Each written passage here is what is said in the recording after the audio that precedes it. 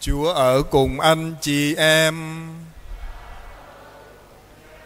Tin mừng Chúa Giêsu Kitô theo Thánh Luca.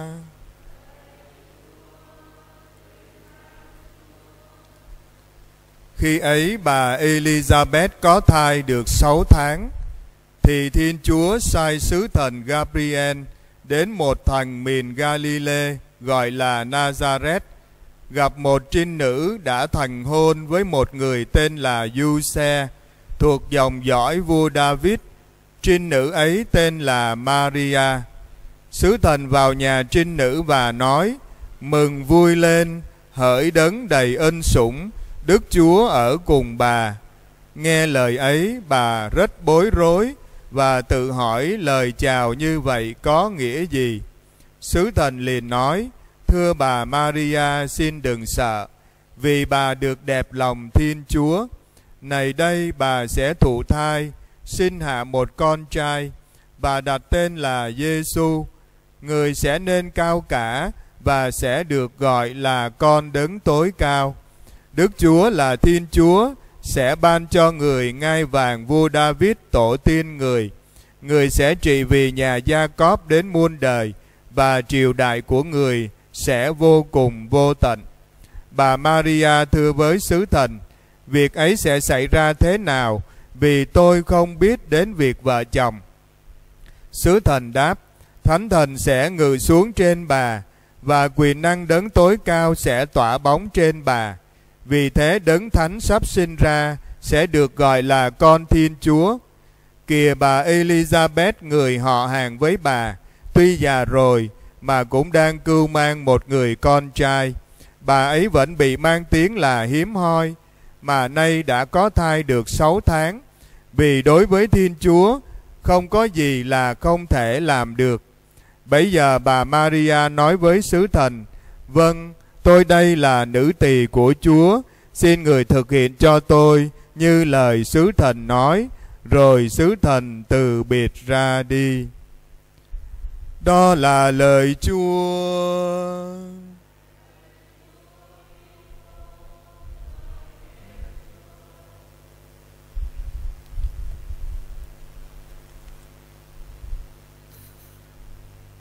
Anh chị em có vui không? À, à, chắc ai cũng à, rất là vui, rất là hồ hởi, rất là phấn khởi, sung sướng bởi vì à, chúng ta đã qua một cái thời gian giãn cách tức là hơn 4 tháng từ à, cuối tháng 5 là tháng à, hoa. À, tôi nhớ lúc đó giáo sứ Tân Trang chúng ta cố gắng tập dân hoa à, để kết hoa mà cuối cùng kết không được. Rồi à, kéo dài cho đến à, hôm nay đầu tháng 10 là tháng mân côi kính đức mẹ thì chúng ta thấy là hơn 4 tháng ròng rã như vậy và chúng ta có thánh lễ trở lại thì à, chắc chắn ai trong chúng ta cũng cảm thấy rất là hồ hởi, rất là uh, sung sướng, uh, rất là phấn khởi. Và có người uh, điện thoại cho tôi nói trời ơi sướng quá cha hôm nay uh, có thánh lễ trở lại. Rồi uh, có người nói cha ơi con mới chích có một mũi à, con tham dự được không? Nói uh, vì Đức Tổng nói là phải chích hai mũi. Đức Tổng nói chứ không phải cha nói vì uh, lý do vấn đề sức khỏe thành thử ra thì Đức Tổng ngài cũng rất là uh, cẩn thận trong cái việc ra những cái thông báo uh, giúp cho chúng ta trong việc uh, tham dự thánh lễ rồi uh, giữ cái sức khỏe cho mỗi người chúng ta như ông bạn chị em đọc ở trong cái uh, thông báo của Đức Tổng vừa qua. Uh, ai chúng ta cũng cảm thấy vui mừng rất là sung sướng vì chúng ta được à, tham dự thánh lễ trở lại sau một thời gian giãn cách. Qua bài tin mừng của Thánh Luca mà cộng đoàn chúng ta vừa mới được lắng nghe trong thánh lễ mừng Đức Mẹ Minh Côi hôm nay thì cũng cho chúng ta chứng kiến một cái niềm vui mà niềm vui này là niềm vui của chính Đức Mẹ. Mà chúng ta nhận thấy niềm vui của Đức Mẹ thì nó không có ồn ào. Nó không có cái bên ngoài nhiều lắm điều quan trọng là cái niềm vui ở bên trong niềm vui được Thiên Chúa ở cùng như lời Thiên Thần nói với Đức Mẹ. Mừng vui lên hỡi đấng đầy ân sủng Đức Chúa ở cùng bà. Rồi sau cái à, câu chuyện à, nói nói với Thiên Thần, Thiên Thần trao đổi với Đức Mẹ thì Đức Mẹ nhận ra một cái điều này, đó là nhận ra thánh ý của Thiên Chúa. Cái niềm vui mà Đức Mẹ có được không chỉ dành riêng cho mình, nhưng mà Đức Mẹ được mời gọi chia sẻ cái niềm vui đó cho nhân loại chúng ta qua việc Thiên Chúa đã chọn Đức Maria để Đức Maria trở nên là mẹ của Chúa Giêsu là đấng cứu thế mà Thiên Chúa đã hứa ban cho nhân loại chúng ta từ ngàn xưa. Niềm vui này là niềm vui của tình yêu thưa anh chị em. Đó là Thiên Chúa à, yêu thương Đức Mẹ và Thiên Chúa yêu thương nhân loại chúng ta. Để rồi qua sự âm thầm, qua sự cầu nguyện, Đức Mẹ đã nói lời xin vâng với Thiên Chúa. Vâng tôi đây là nữ tỳ của Chúa, xin người thực hiện cho tôi như lời sứ thần nói. Cho nên hôm nay chúng ta nhận ra một cái niềm vui của chính Đức Maria. Niềm vui được Chúa ở cùng. Niềm vui này nó không có ồn ào. Niềm vui được Chúa ở cùng mẹ.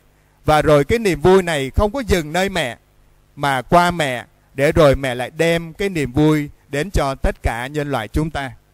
Kính thưa anh chị em, hôm nay chúng ta có niềm vui được dân thánh lễ trở lại nhưng điều quan trọng nhất là chúng ta vui vì qua dịch bệnh này chúng ta nhận ra biết bao nhiêu hồng ơn của Thiên Chúa dành cho chúng ta. Dĩ nhiên là chúng ta theo dõi uh, cái tình hình dịch bệnh cũng có những anh chị em uh, nhiễm bệnh uh, và qua đời. Thì tôi chúng ta vẫn tiến thác vào tình yêu thương và lòng thương xót của Thiên Chúa dành cho những anh chị em đó. Rồi trong suốt 4 tháng chúng ta chống chọi với dịch bệnh, chắc chắn có những lúc chúng ta cảm thấy nó căng thẳng. Không biết anh bạn, ông bạn chị em có cảm nhận cái điều đó không? Chúng ta cảm thấy căng thẳng, chúng ta cảm thấy ờ, khủng hoảng, chúng ta cảm thấy lo lắng, chúng ta cảm thấy sợ hãi. Để rồi hôm nay mặc dầu dịch bệnh vẫn còn hoành hành, nhưng mà chúng ta vẫn tin, vẫn tin Thiên Chúa là tình yêu. Thiên Chúa Ngài luôn yêu thương chúng ta. Thiên Chúa Ngài luôn hiện diện và ở cùng chúng ta. Và trong ngày lễ Đức Mẹ Mân Côi hôm nay cũng là bổn mạng của giáo khu 3. Chúng ta thấy mọi lần à, lễ bổn mạng, nhất là bổn mạng của giáo khu 3 hay là bổn mạng của các hội đoàn.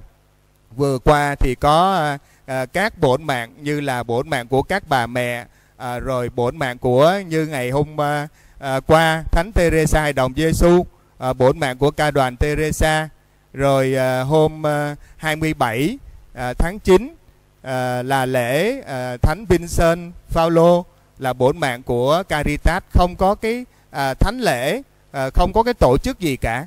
Và cách riêng hôm nay chúng ta mừng lễ Đức Mẹ Bên Côi cũng không có những cái bên ngoài nhiều.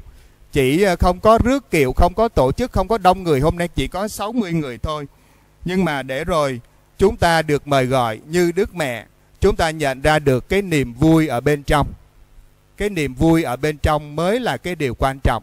Mà niềm vui ở bên trong đó là niềm vui chúng ta nhận ra cái tình thương của Thiên Chúa dành cho chúng ta một cách rất là kỳ diệu, đặc biệt là qua cái đại dịch này.